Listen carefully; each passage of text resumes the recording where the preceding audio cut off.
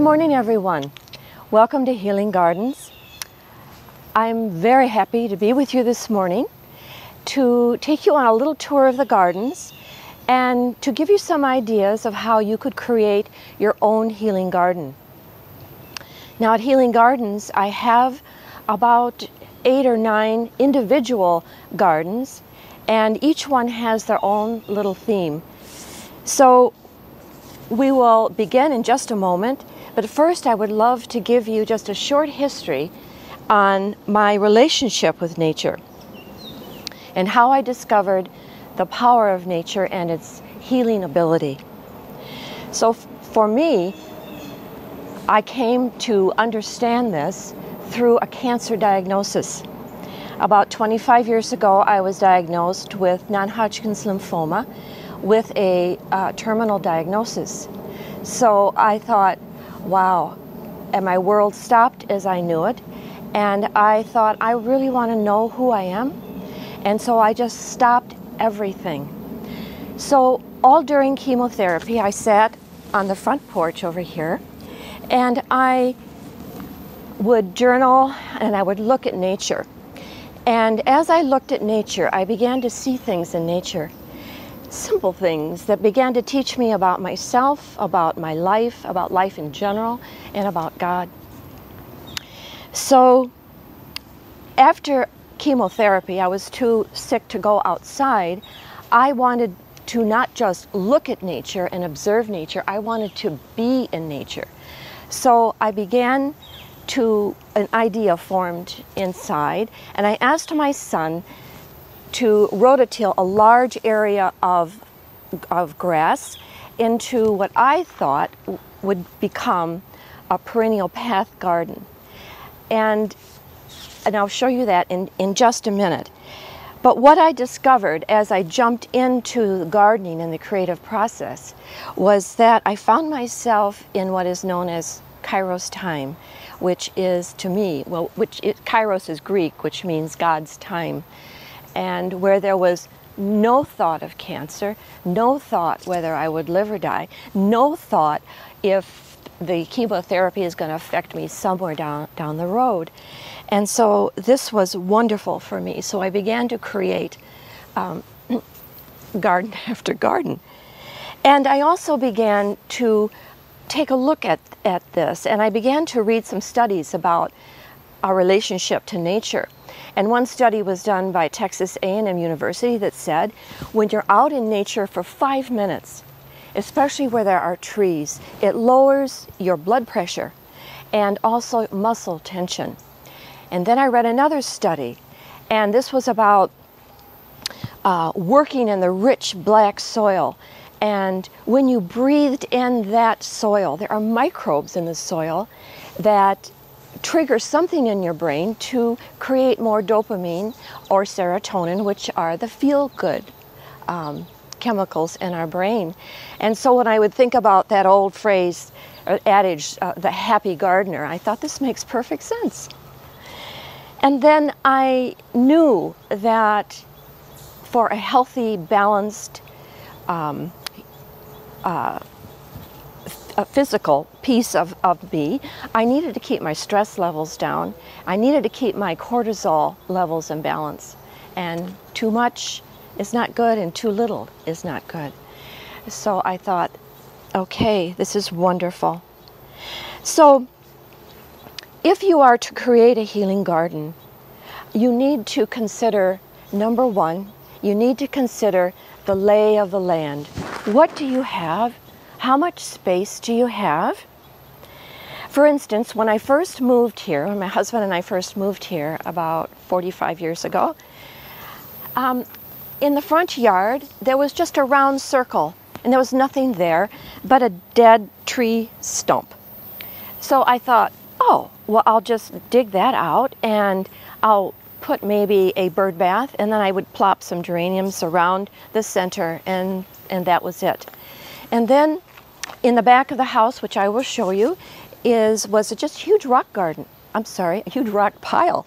And coming out of that rock pile were just a few um, uh, native flowers and uh, uh, old-fashioned phlox. and I thought well I'll just roll some stones around here and just try to create uh, some levels so eventually that became a rock garden and then one more example in the very back of the house there is a round there was a round cement circle and that used to be the foundation for the old silo that used to be here. This was a working farm for many, many years. And growing out of that were, again, a few weeds and a few more old-fashioned phlox. So then I thought, well, I'll just throw a few more flowers in and be done with it. So you look at the lay of the land, and then you, you ask yourself a few questions. What is healing for me? What is healing for me? And how much time do you have? How much time? What can you manage? And so, what is wonderful about creating a healing garden is that you can make it as large as you want or as small as you want. So, we'll just walk over here just to, for me to show you that you can have a healing garden in a small area as a little window box or a, a big container on your patio. But on this window box, I just I put a little concrete statue of a woman who is lying on the moon, and she has such a wonderful expression on her face. She's got a little angel on her toe and a little angel looking down, protecting her. And when I pass this, I look at that, and it feels really right to me. And it's something that I would love to do and that I, and that I can do in nature. So let's continue over here toward the little circle garden over here. So another question you can ask yourself is, what makes you feel relaxed outside? Do you like a lot of sound, like for instance, the water coming off the fountain over here? Do you, would you prefer perhaps some wind chimes? Or do you feel more relaxed outside in silence, like just the sound of the birds or the wind in the trees or the crickets. Also, the whole idea of making a healing garden can have a theme, and you might want to consider that. And I'll give you just a few ideas, and in a little bit, I will show you some examples of what I cho chose as my own themes. Perhaps you would like your healing garden, you would like a cutting garden, and so your healing garden is completely filled with flowers that you can cut and bring in the house for bouquets.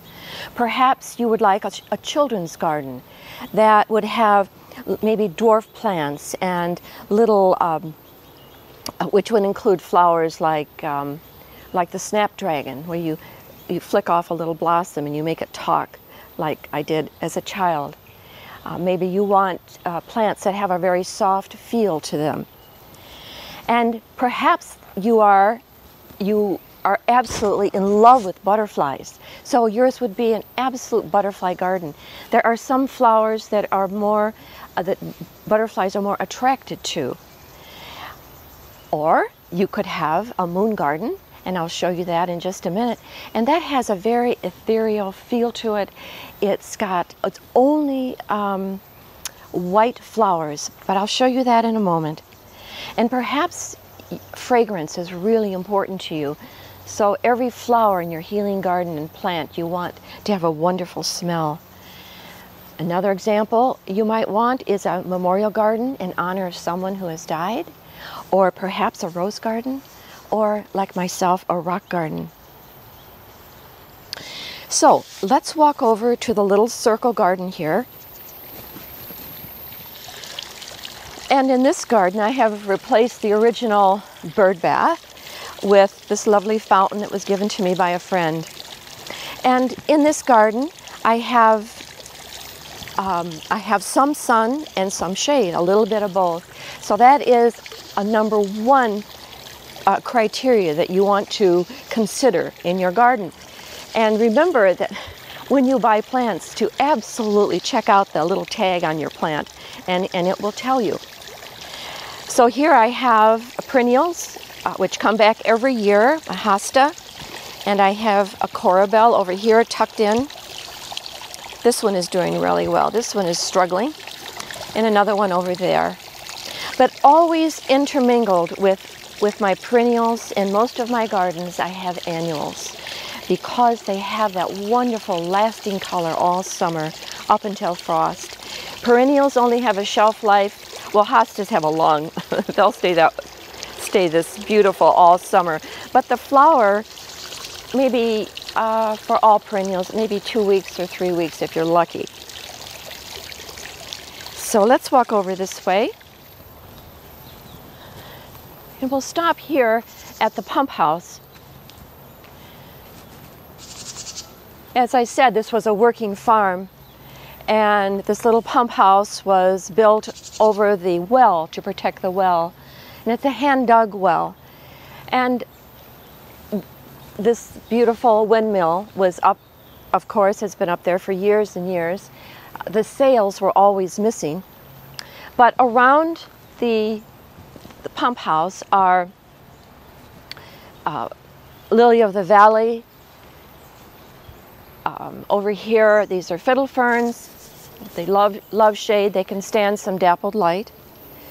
And over here are old-fashioned phlox. And all of these three plants are over, oh my goodness, over 80 years old. They've been here forever. They were here when we moved here. And I'd like you to notice this little shepherd's hook here. This is what I do in many of my gardens. When I want a splash of color, I add a hanging basket. And what happens then as you walk toward, you come down the lane or you walk toward this area, this pops. And so then your eye takes in, takes in the whole picture.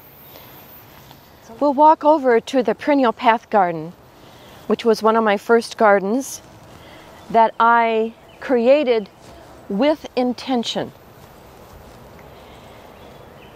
And my idea, as I said, was to make a garden that had paths because I wanted people to walk the gardens, myself included, and turn a corner and see something absolutely beautiful. And in order to accomplish that, I planted things of different heights. In other words, I did not put all my tall flowers in the back, and then the medium, and then the short. I I have various heights all over so that you must walk in the garden to be a part of the garden, to see the garden. So we'll walk in.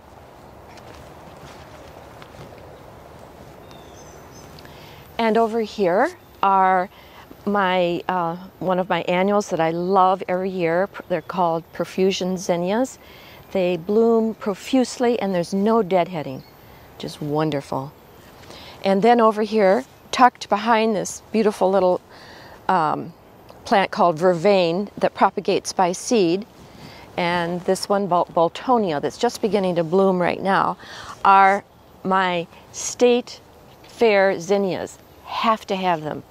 They are a butterfly magnet for sure. So I've got two clumps of these, one here and one on the other side of the garden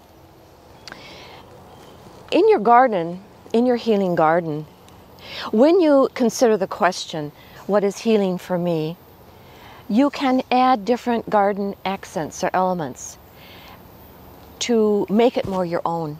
So for me, I love boulders, I love rocks, and I'm so fortunate because that's why this is called Stone Hill Farm because everywhere we tried to plant something big, we encountered a huge boulder. And they say that these were here from the Ice Age, or from the glaciers. I don't know, but there are many, and I'm so fortunate to have them. So I have a little boulder over here, and what's fabulous about this boulder is that it has a little flat surface that I have put a religious symbol. Well, it's a lamb, but for me, it's a religious symbol. Then all around the bottom, I have the lamb's ear, which you just can't help but break off a, an ear and just to feel the it's like the ear of a lamb or a bunny. I wanted a clematis in the garden and it's it needs a place to uh, to climb and so I added this little obelisk I think that's how you pronounce it um, so that it, it could climb and, and when it blossoms, it's, it's such a beautiful color. But it has come and gone. But right next to it, I have dahlias, which are which will bloom profusely until fall.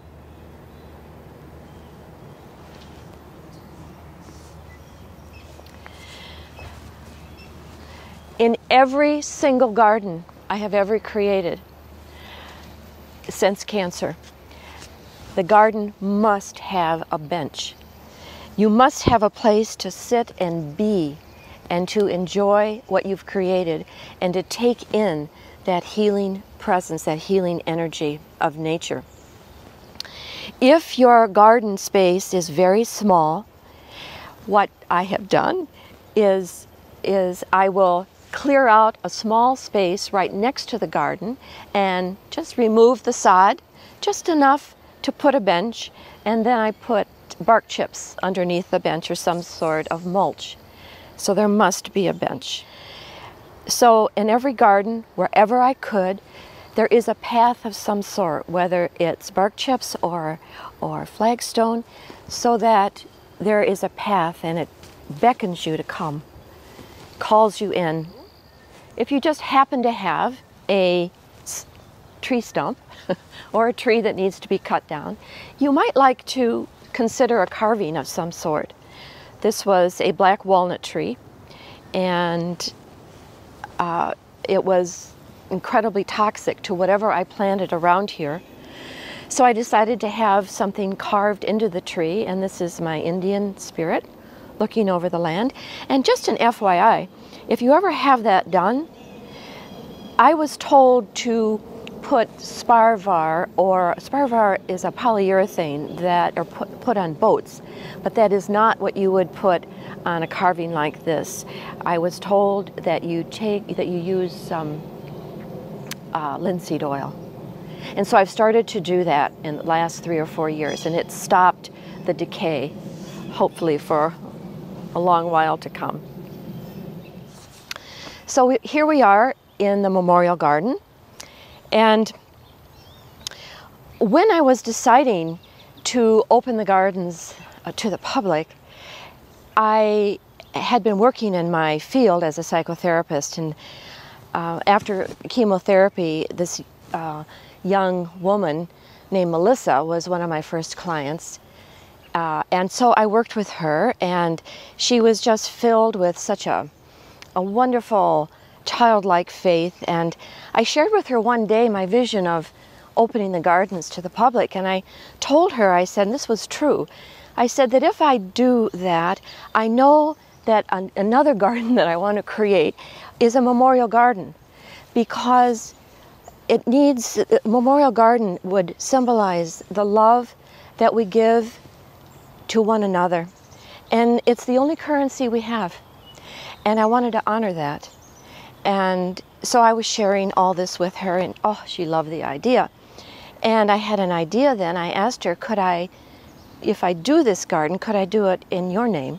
And she said, oh, she would love that. So her favorite, I asked her what her favorite bird was.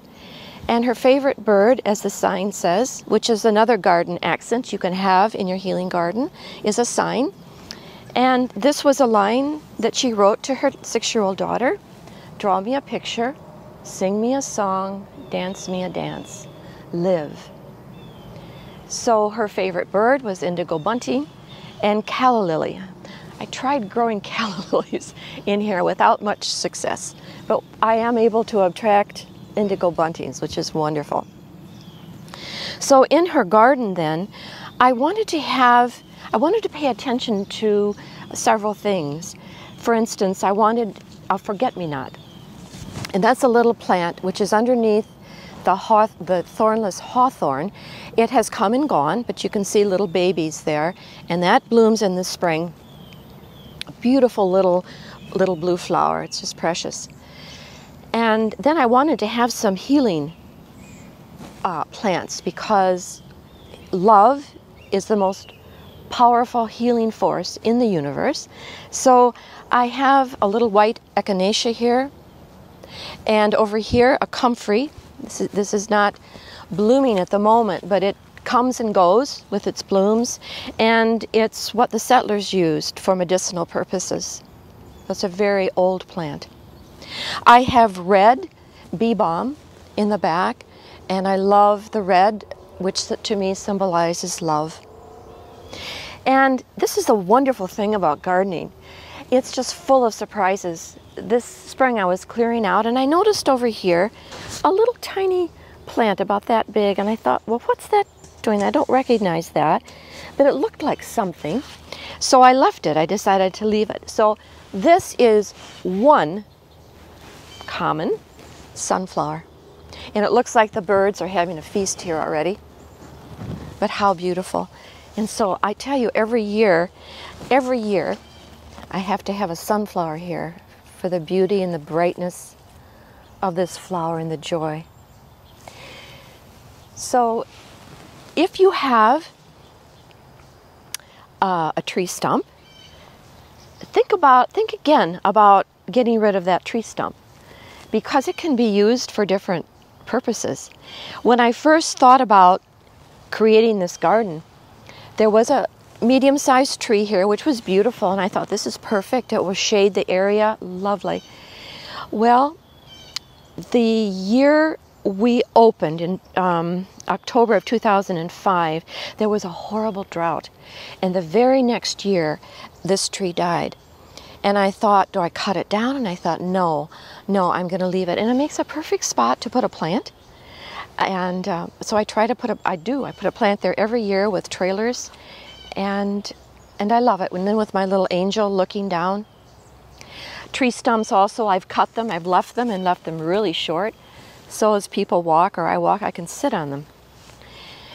And this garden has a, another example of a garden accent, such as the little crying angel over here. And it truly is very sad when someone dies. We miss them terribly. The grief is unbearable at times. But we also remember the gift of who they were and the love that we shared in this garden there must be a bench and my boulder here that is almost completely covered by the years of mulch. The mulch I use, by the way, is mushroom compost every year. I love it. It's left the soil like butter. And when I can't use mushroom compost, I use a triple shredded or double shredded uh, mulch of some sort. So this is the rose garden and as you can see there is a fence all the way around it because we have deer and they love roses. And I thought, well, since I have to have a fence, I'll have a gate as well. So then I had a sign made, come in and rest and smell the roses. I want people to go in, to walk in. So let's walk in.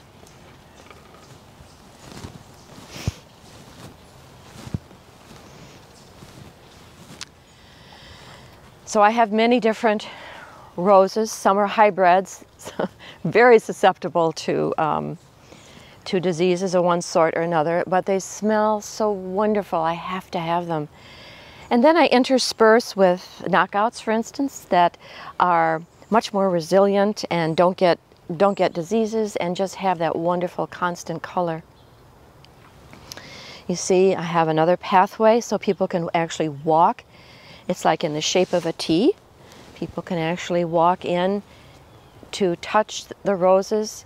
And of course, my bench in the corner, absolutely critical. When you're in the throes of creating, sometimes it's hard to stop. And so once I finished with the rose garden, I thought, mm, I'd like a little appendage. I, I just I've always wanted a Japanese ma maple tree so I've got a little Japanese maple here to anchor this spot. And so then I just started planting, adding more. The little accent is a little iron gate. Well, little accent piece that looks like a little gate. And that makes a nice place. The clematis in the spring uh, will grow up there, up that piece and bloom. It gives a little height to the garden too. So as we're walking over to the old silo moon garden, you can see in this little tree, well it's a big tree, it's a mulberry, it had a, a rather large opening, so I just tucked a little rabbit in there. And it makes for a little bit of a surprise. And growing around the base is a wonderful hosta that blooms in in August. The name escapes me at the moment, but very soon there'll be beautiful white flowers. So this is the old silo. Here's the foundation, the old silo moon garden. I turned it into a moon garden uh, after I saw an example of one. and so as I said, it has all white flowers and I tried to pick flowers that would bloom one after another. So I have David phlox, the white David phlox in here, and Shasta daisies. My annuals here are white alyssum that, oh, are wonderful. They have such a fantastic smell. And over here, of course, being a moon garden, you have to have a moonflower. So this is a moonflower, and oh, there's, and it blooms at night, but we've got one beautiful, beautiful blossom.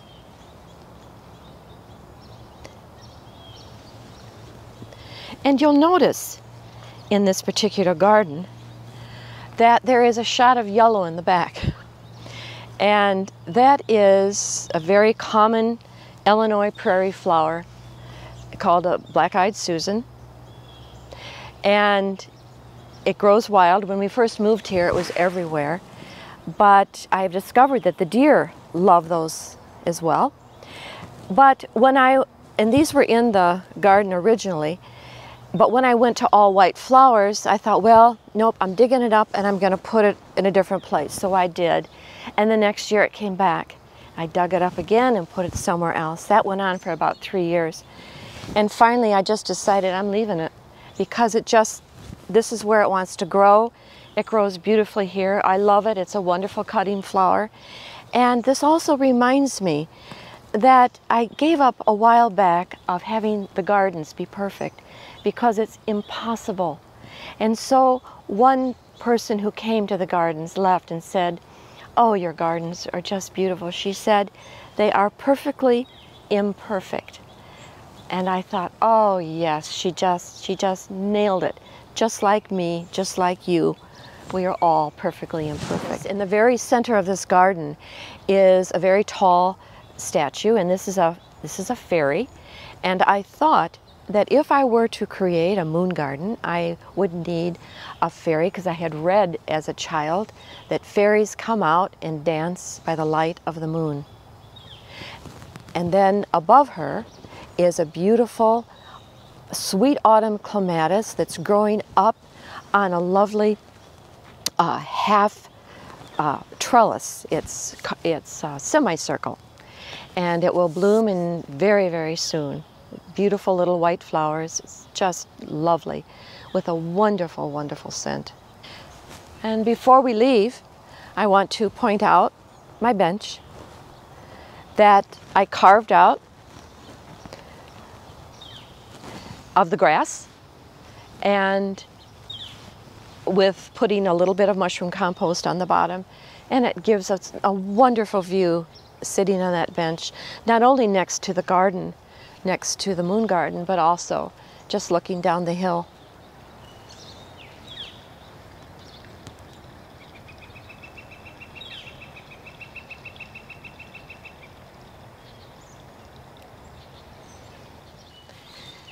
So we're walking toward the rock garden. When we first moved here, this was just a pile of rocks with a few of those phlox interspersed in that pile of rocks.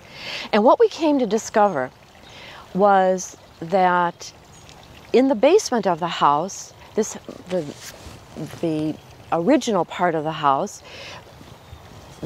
years and years ago, the farmers used rocks from the field and would stack them and put cement as a foundation for the basement. And of course, they always used it for to line the sides of the well as they did for this old well uh, that in the pump house. And also we reasoned that all the boulders that they found in the field or around that they just kind of threw in this big pile. And so what grew out of this pile when we first moved here was a box elder tree. And the box elder tree, if you can see the little angel in a little cut off piece of uh, trunk of a tree, dead center here. And that's part of the box elder tree that grew out of that very spot. And the reason why it's so precious to me is that it grew out at a 45 degree angle that absolutely defied gravity. And it, it, stayed that way for years and years until about two years ago, and it did just, it fell. And it, it was so beautiful because my children could climb the tree. And then when I started having retreats here, actually people would climb up it a little bit because it was very low to the ground. So I I tried to remove the angel when the tree fell down and I couldn't I couldn't get the angel out. So then I thought, well, it's going to stay. And so that has become part of this garden. And in digging out the roots of that box elder tree, of course, what do you know? They came across more rocks. So many. These three big rocks. A huge boulder over here and another enormous one right here that now has flowers growing out of it. Right here. Looks like a lot of little animals lived in there over the centuries. And then all these little rocks all around.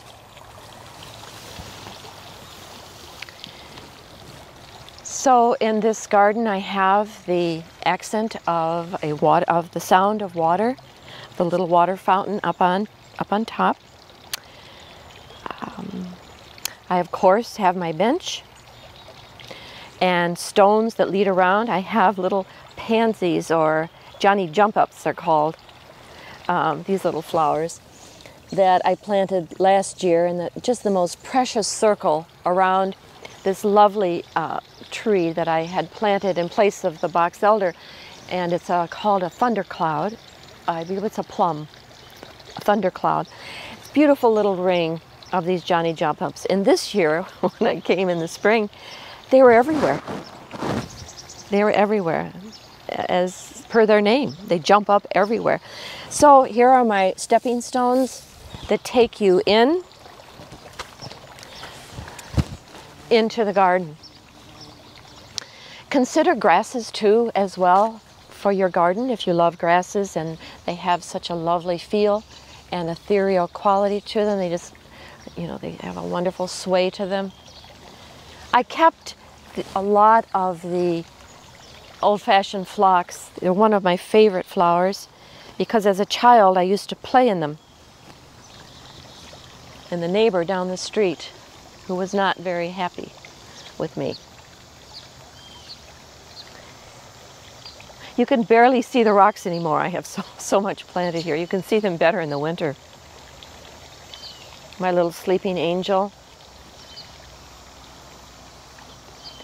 By the way, you can put whatever element in the garden that you find is healing. You can, you can do a pink flamingo if that feeds your soul and makes you happy. For me, I probably have an overload on angels, but I love them. So we'll walk through the arbor here. This is a this was a, a, gift, a Christmas present from my husband years and years ago before we ever opened the gardens.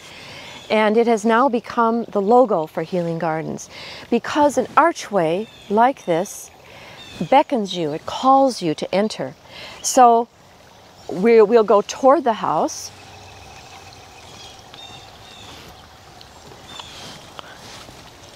But then again, we'll turn around and we'll look toward the other direction. And it simply tells you to come and walk through. On either side, I have a another sweet autumn clematis. And then on this side, I have a William Baffin climbing rose, which is still blooming. And interspersed in this, there are several pathways, which also beckon you. A little pathway, stone pathway down here, right through the flowers. One of the stones, the flagstones, has a, a word on here that has great meaning to me. I'll brush off the dirt here so you can see.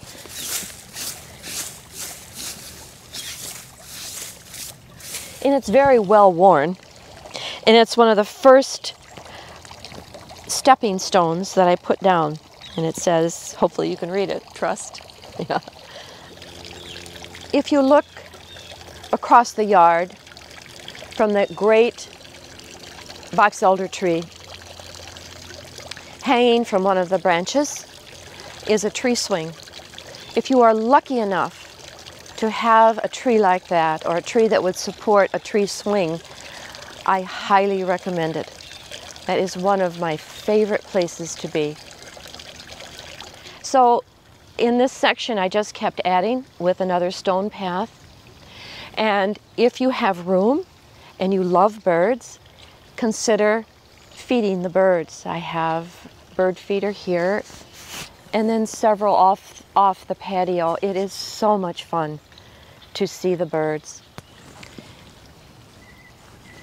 And another accent piece I have is this concrete statue of a woman, which was another birth, was, was a birthday present from my husband. And her expression is an expression I see on people's faces when they come here. And when people come to workshops and on retreat and when they're out in the gardens. And I think that is exactly where I want to be and where I find myself many times.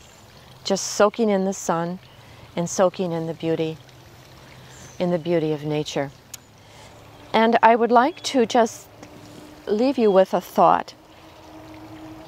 You know, a, a healthy, healing garden is very much like a balanced, healed human because a healing garden is always fluid.